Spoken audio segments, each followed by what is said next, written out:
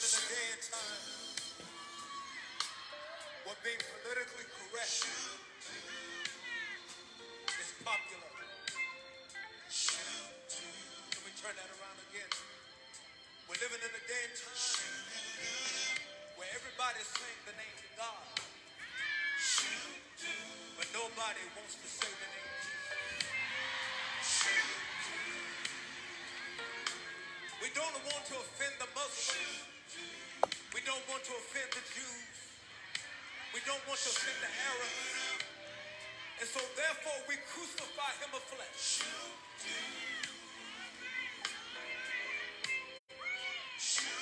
But I want you to know that there will come a time when every Muslim, when every Buddhist, when every Jew will have to get down on their knees you have to confess that at the name of Jesus, every knee shall bow.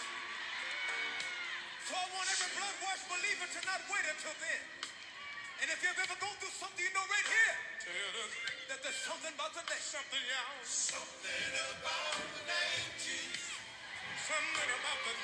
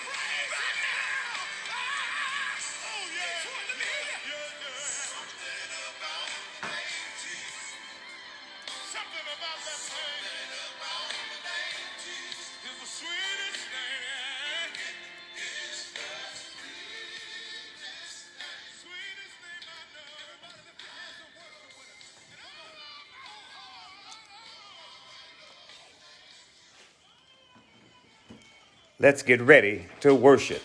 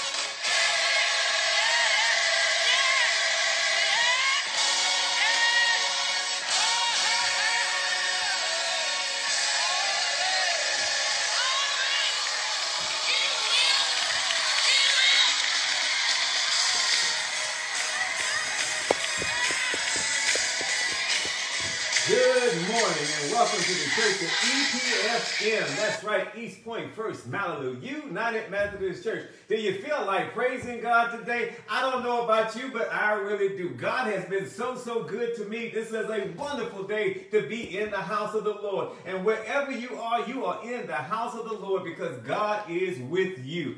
Come on, God. Somebody give God some praise in this house. What a wonderful day to be happy in the house of the Lord. Wow. I tell you, those good old songs, they always get to me because it makes me remember the good old days in the church when we would be singing and dancing all night long. Well, I just want to welcome you to the Church of EPFM. I am Michael Stinson, and I'm glad to serve as the pastor of this wonderful church. We had a little technical difficulties early, and we hope we worked them all out, but we thank you for being with us virtually. Uh, as you know, we will be uh, worshiping virtually for quite a while now because in Georgia, they're still going up. The virus is still going up. The curve is not coming down. Until it comes down, we cannot come back into a box, which could be a death box for some. So we thank you for worshiping with us virtually. I know we'll have some people here from California, people from Mississippi are in the house. We have people from Detroit, from Chicago. We have people from Washington, D.C., Maryland, and Florida. And New York is in the house too. North Carolina is in the house. So we want to thank you all for coming and worshiping with us today. And we ask that you push that little share button so that other people can get some of this too. We want to make sure that we allow everybody to have a good word from God today. Uh, as you know, we are we've been having special Sundays throughout the month of July, and today is School Spirit Sunday. And so you see, I got on my Howard shirt. That's HU, the real HU, Howard University you know. And also, I didn't have a shirt for my Grambling uh, in, uh, in the presentation earlier, so I got my Grambling cup. I'm drinking my water out of that. And while I was up at Howard, I did run into a few nice men from uh, that like the colors black and gold. So uh, I hope that you have on your uh, school spirit stuff as well. We just want to thank, uh, thank you for worshiping with us and all we do. You know, we had a really busy week at the church. On Tuesday and Thursday, we gave away food boxes, about 7,000 pounds of food. And then on top of that, on Thursday, Fulton Fresh Market came by and they gave away some more food. And we also had a blood drive on Thursday. And then on Friday, we came back with COVID testing. We want to thank everybody, all our volunteers, especially we want to thank our trustees because they work really hard to make sure that the church is open and available for services such as this. This week we still will have the food distributions on Tuesdays and Thursdays, and we will have COVID testing again this Friday from 10 a.m. to 4 p.m. From 10 a.m. to 4 p.m. Friday, we will have COVID testing. Uh, we have uh, started a new prayer call line, 7 o'clock Monday morning. 7 o'clock Monday morning. Uh, and if you saw the previews, you saw the number for that. Uh, if you need the number, you can call uh, the church office and we'll be sure to get you that information. But that's going to be 7 o'clock every Monday morning. This, we'll see how that picks up. We do have a prayer email where you can send your prayers to the church. And it's at prayer at epfmumc.org. That's prayer at epfmumc.org. We want to especially lift up uh, our sister Judy Wilcox she lost her son, one yesterday, and we want to keep them lifted in prayer. Uh, we also want to uh, lift up uh, the Few family. Uh, Larry Few lost his uh, lost one of his aunts. I understand she was 100 years old, and her service was yesterday. Uh, last thing, we want to give you the opportunity to participate in our ministry with us. you can do that in five different ways. You can go online at epfmumc.org. That's epfmumc.org,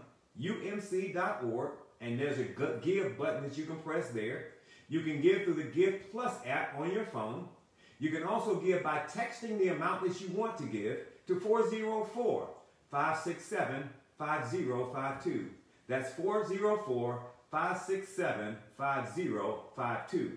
You can mail a check to the church at 2651 Church Street. That's 26 51 Church Street, East Point, Georgia 30344. Or you can drive by the church and put it in the mail slot. You can even put cash in the mail slot because it goes into a locked box.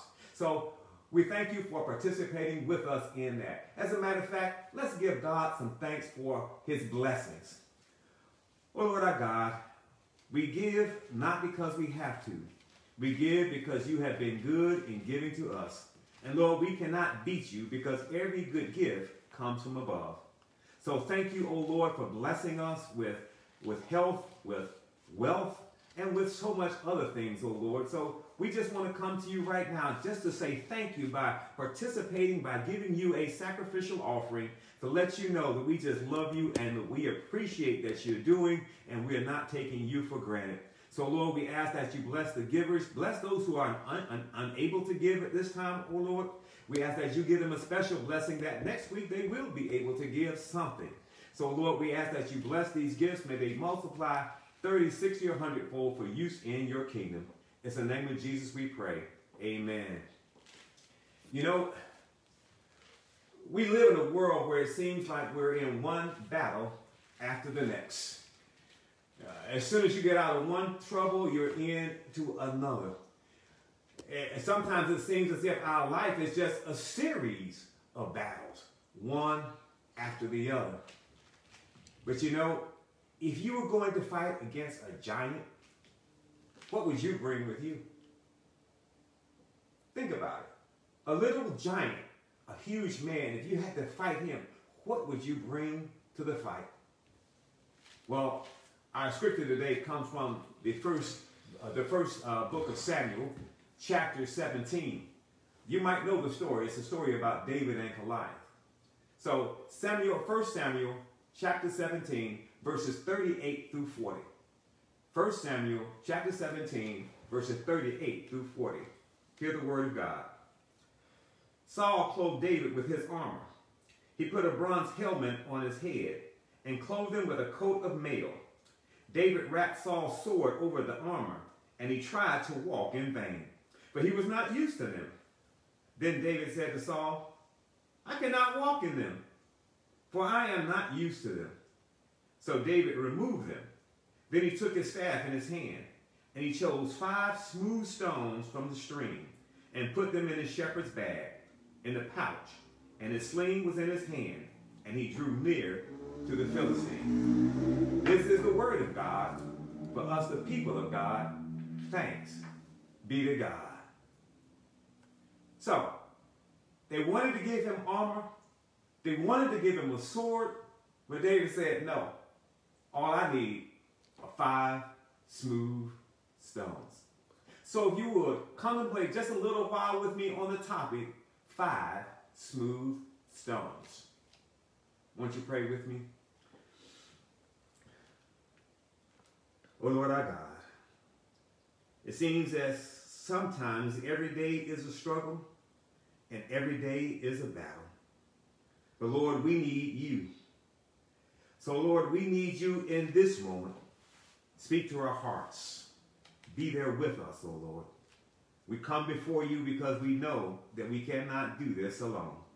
So open our ears, open our minds, open our hearts and our souls that we might hear a word from you, Lord.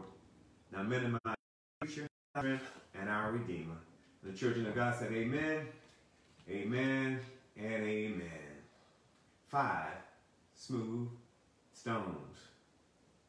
I imagine it was a stone similar to this that David used that day. But I thought it's interesting that all he wanted was five stones. Now, I'm sure you know the story of David and Goliath. It's a story that's been told probably since uh, you were in, in Sunday school. So let me ask you a question. Is there anybody who does not know the story about David and Goliath? If you don't know the story, raise your hand.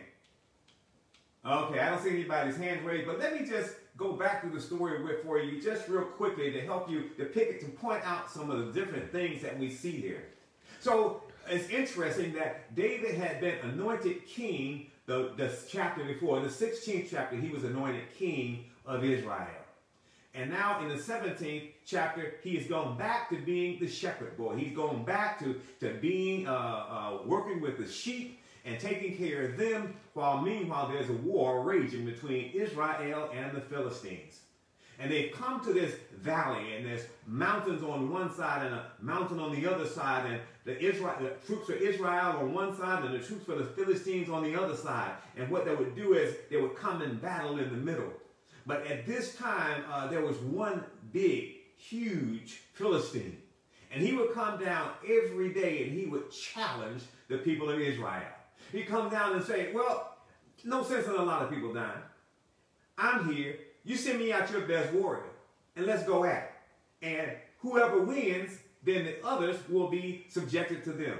So if I win and I defeat your champion, then you will be subjected to us. And if your champion defeats me, then we will be subjected to you. That might sound like a good idea, but my Bible tells me that Goliath was six cubits and a span.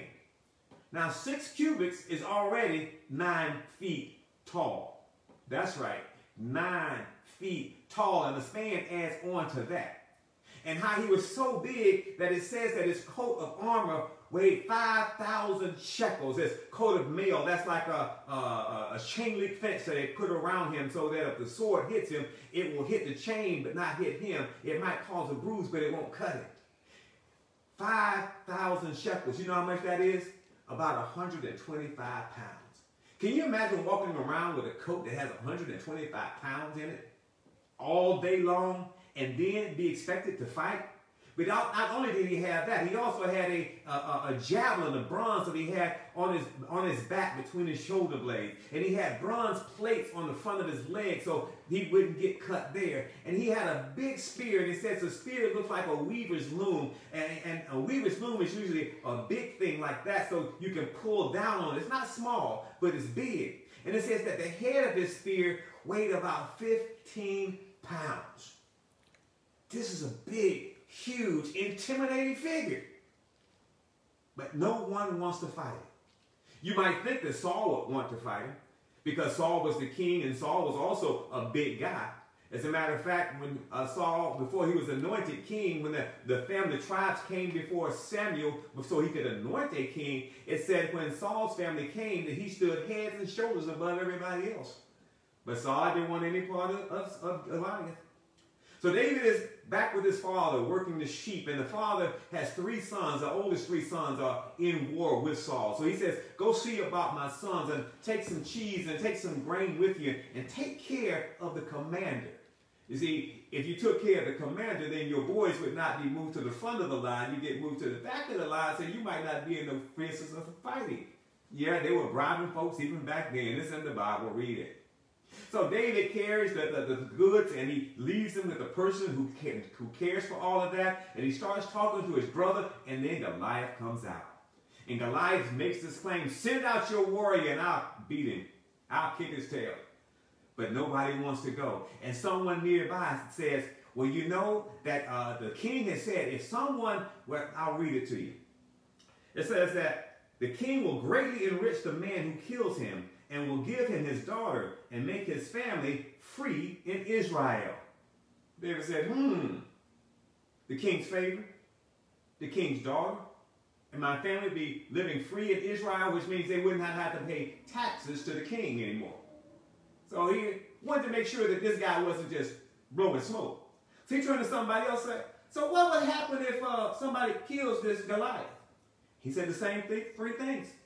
King's favor, king's daughter, no more taxes. His older brother heard him talking, asking these questions.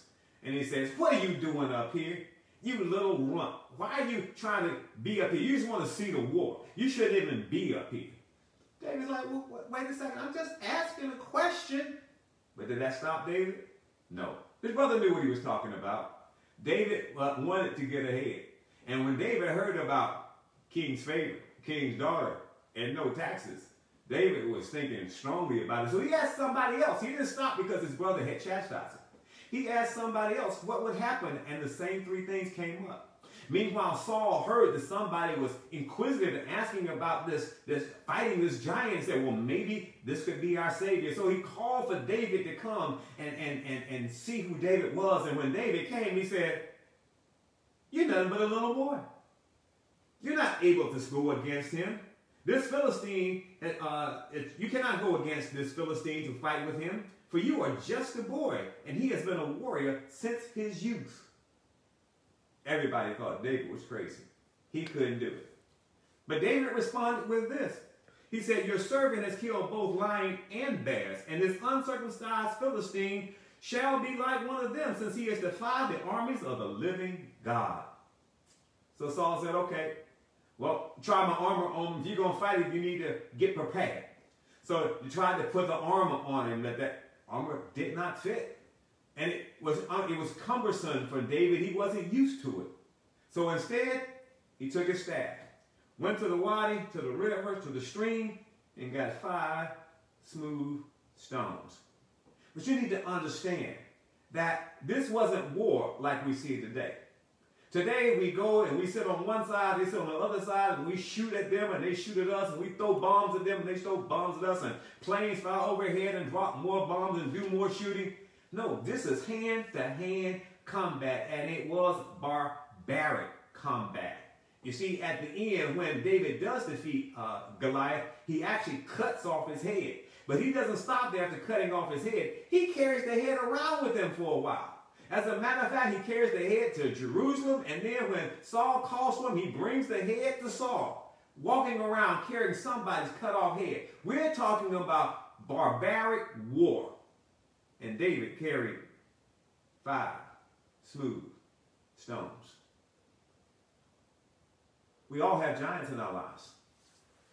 Right now, our world is facing the giants of COVID and racism. What's your giant? It drugs? Alcohol? Anger? Fear? Worry? Hatred? Jealousy? Envy? What's your giant? And how do you fight it? Well, Paul says that we should put on the armor of God if we're going to fight anything. He says, Stand therefore, this is Ephesians, the sixth chapter, verse 14. Stand therefore and fasten the belt of truth around your waist, and put on the breastplate of righteousness. As for shoes, put on your feet whatever will make you ready to proclaim the gospel of peace. With all of these, take the shield of faith, with which you will be able to quench all the flaming arrows of the evil one. Take the helmet of salvation and the sword of the Spirit, which is the Word of God.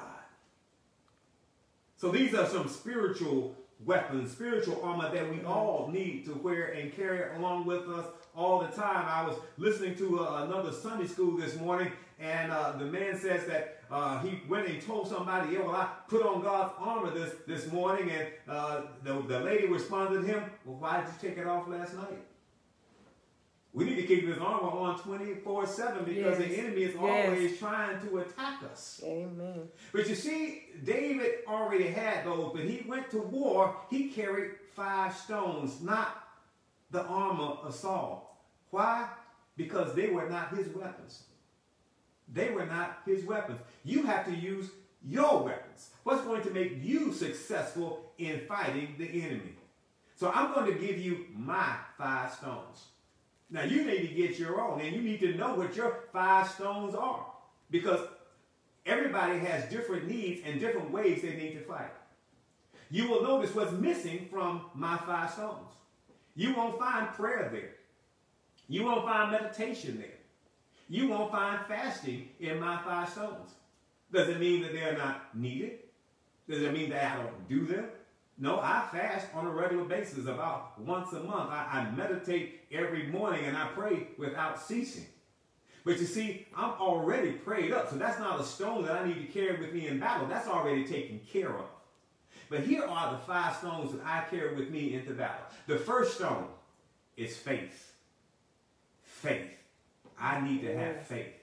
It's interesting yes. when Jesus showed himself to his disciples in the upper room, he came in and said, Peace with you. What he's saying is, Have faith, I'm here. Have faith, I'm here. How many times did, did the disciples worry and he would chastise them and say, Oh, ye of little faith.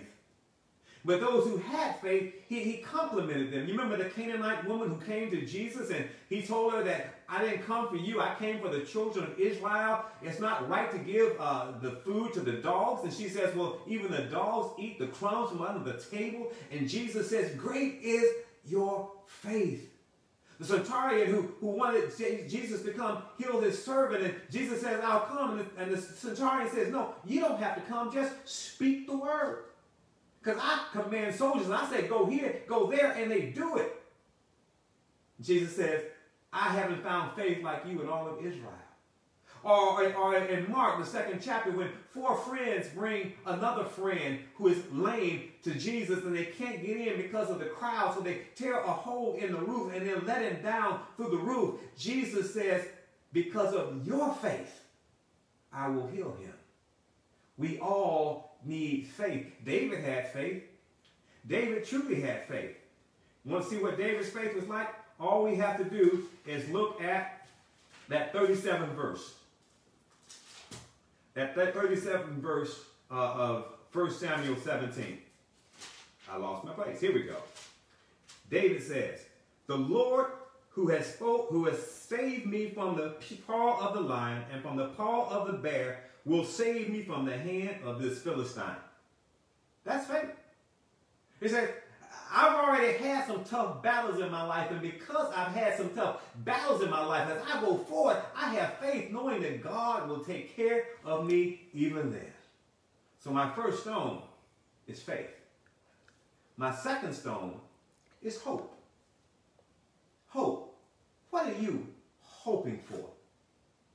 You see, we all need to have some expectations in life. If you don't have any expectations in life, it seems like you're just waiting for the grave. What are your expectations? What are your expectations for your kids? What are your expectations for your grandkids? Where are you expecting God to move in your life? I think too many people are just sitting back waiting to see what's going to happen next. And that's where that's where that's no way to live this life. Paul said the three things are left faith, hope, and love. And the greatest of these are love. We need to have faith and we need to have hope. You see, if you're only hoping for what you know you can do, for what you can see with your own eyes, with the resources that you already have, that's not faith and that's not hope. You can already do that. We need to hope for something that that's so big that it will need God for us to succeed. What are you hoping for? What are you expecting for from God? So we have faith, we have hope, and then we have obedience. Obedience. Obedience means giving your will to God's will. Giving your will to God's will. You know, even Jesus says that night in Gethsemane, not my will, but thy will be done. Philippians 2, Paul tells us that Jesus uh, was obedient, even obedient to death on the cross. And the writer of Hebrews puts it this way in Hebrews 5 and verse 6 and 7. He says, Although he was a son, he learned obedience through what he suffered. And having been made perfect, he became the source of eternal salvation for all who obey him. So Jesus learned obedience by going through the things that he had to go through. You see, the things we have to go through are not to tear us down, but they're actually to build us up. It's to teach us faith. It's to teach us hope, to teach us obedience. And Jesus learned that obedience while he was here. And now he lived that perfected life. Now salvation comes through him. And so now we are to obey him. So that's faith. That's hope. Obedience. The fourth stone is generosity. Generosity. We need to be generous with our time, our talents, and our tithes. Generosity is the giving of self. And we give ourselves in so many different ways, but one of the ways we give ourselves is through service. You know, we have all these things going on at the church, and I see a lot of the same faces all the time. You know, you can come and participate too. We food giveaways on Tuesdays from 1 to 3, and you can come at 12 o'clock and help us set up. Or the food giveaways on Thursdays from, from 1 to 3, and you can come at 12, excuse me, at, at 11 o'clock to help us set up for that. We need participation. We need people to help get the job done. We actually have people in the neighborhood who come every Thursday to help participate as we give away these food. Our talents. We all are blessed with spiritual gifts. We're all are blessed with physical gifts and mental gifts. Are you using them for the kingdom? Yes, you can make money with them. God wants you to use them for yourself. But how are you using them for God's kingdom? And then the tithe. God says, I'm going to give it to you. And I'm going to see if you trust me enough to give me 10% back. Just live on 90%. Give me 10%. And says, and see if I won't open up the windows of heaven and pour you out a blessing that you won't have room to receive. You know, I know sometimes you don't have enough funds to give 10%. But someone said something that stuck with me a long time ago. He says, when in need, sow a seed. When in need, sow a seed. We need to bless God with something that we have and watch God bless us back. So faith, hope, obedience, generosity, and my fifth stone is gratitude. Gratitude. As Christians, we are supposed to be thankful.